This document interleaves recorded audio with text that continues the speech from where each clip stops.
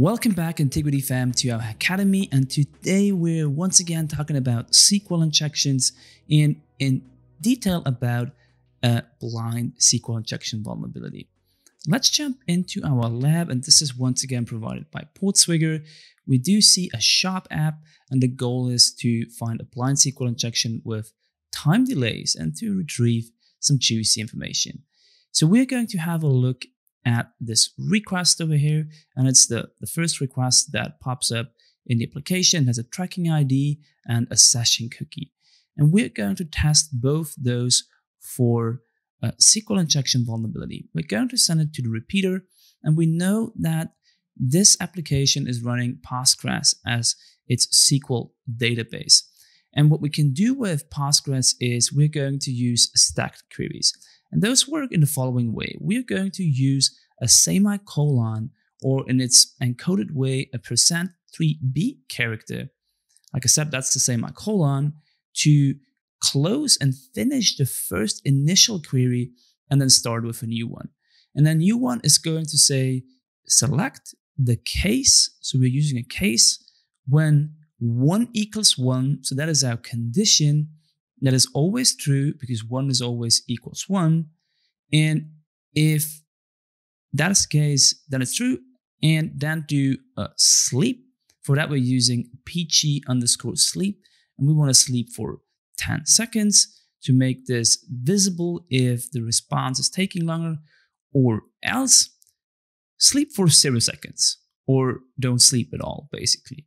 So with that, we would see a huge difference if the condition is true or not.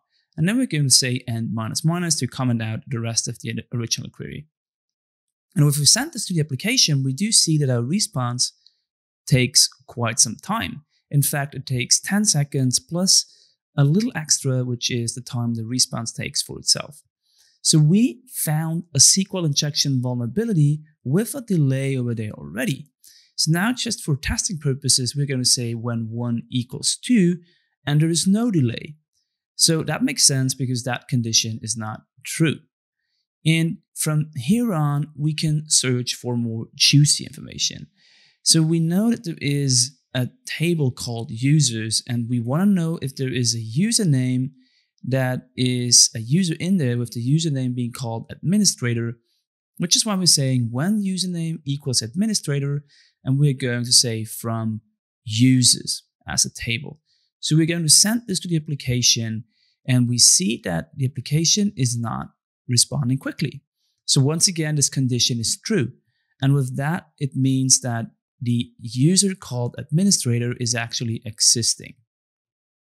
So now I want to go ahead and we want to find out about the length of the password of that user. So let's say, and length password is bigger than one. If that is true, then we wait for five seconds to make this a little shorter, to wait a little shorter, and we're going to send this to the application. And we're not getting a response within five seconds. So yes, there is a column called password and it's longer than one character. So we're going to try 10 characters and we could technically use burps intruder for that, but for the sake of ease, we're just going to use the repeater. We're going to say 15 characters. We're still getting a delay of five seconds. We're going to say 20 characters and we are not getting a delay of five seconds. So that means it's not longer than 20 characters. So now we're trying 19 and in fact, we get a delay again. So with that, we know that the password is exactly 20 characters long. And you might be wondering right now, why do we need the exact length of the password? And the reason here for is because we're going to make use of the substring query functionality. And with that, we can say end substring, and we just say we want to inspect the password on its first position, and we only want to check one character. So that's what the two ones are standing for. And we're going to say, does that equal the character A? And we don't wait for five seconds. So no, it doesn't equal the character A. But now we're having too many characters and we don't want to do that manually. So we're going to send it over to intruder And we're going to clear all the payload positions and only mark the character A. And once we have that, we do need a payload. So we mark the A and we head over to the payload tab in Burp Suite's intruder. And this is typically already set to the payload type called simple list. And that's exactly what we need in this particular case. We're going to select characters A to Z and the numbers 0 to 9. So now we're having some characters that we're trying out. Now we need to create a resource pool.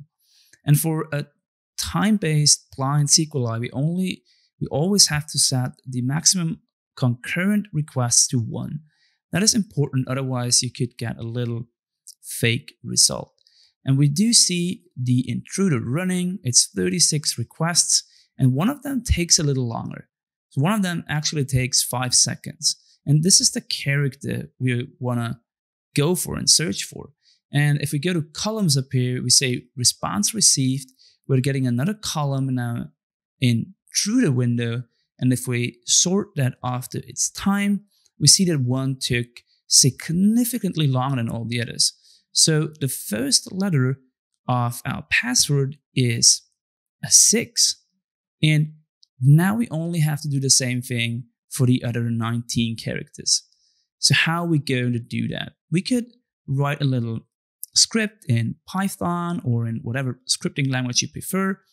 But I'm actually going to use the intruder functionality once again. So now we're introducing another payload position with the character in the substring. So we're going to say we don't just want to do the first character, but we want to search in the first 20 because we know that the password length is 20. This is why it is important to know the length. And we're going to use the attack type cluster bomb. And you will see in a minute what this is doing. We're going to payloads. And for our first payload, we just need numbers because we know we want to check the first, second, third, all the way up to the 20 characters that our password is long. And the step count is one. So at this point, we're having 20 requests sent to the server. And in our second payload set, we're doing the same thing as before. We're using list A to Z and numbers 0 to 9. So in total, we're having a request count of 720 requests being sent to the application. And we're going to run this, and this is going to take a while, which is why I'm speeding up the process a little bit.